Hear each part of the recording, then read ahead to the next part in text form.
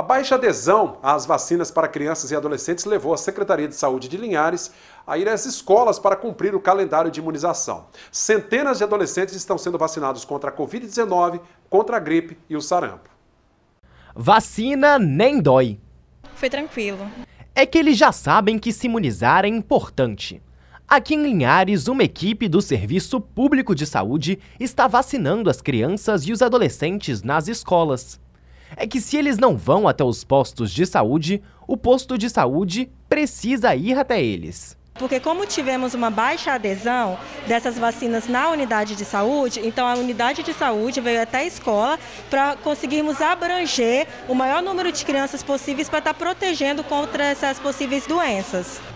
De acordo com a equipe de saúde que trabalha aqui hoje, cerca de 116 crianças foram vacinadas nesta manhã. A expectativa é que mais 90 sejam vacinadas nesta tarde. A buscativa segue até o próximo dia 15.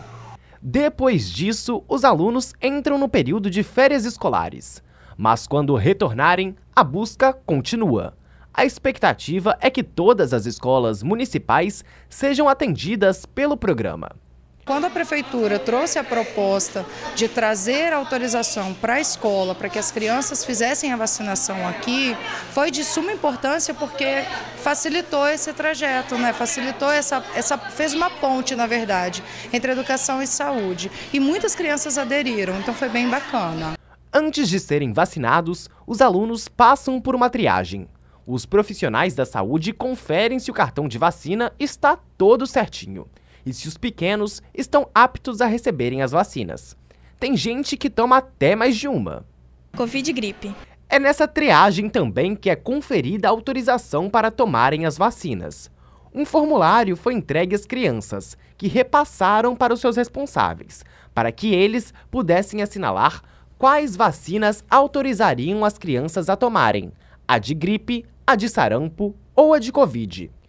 A estratégia da busca ativa de crianças nas escolas da rede pública tem como objetivo ampliar a cobertura vacinal contra essas doenças, que está abaixo do esperado.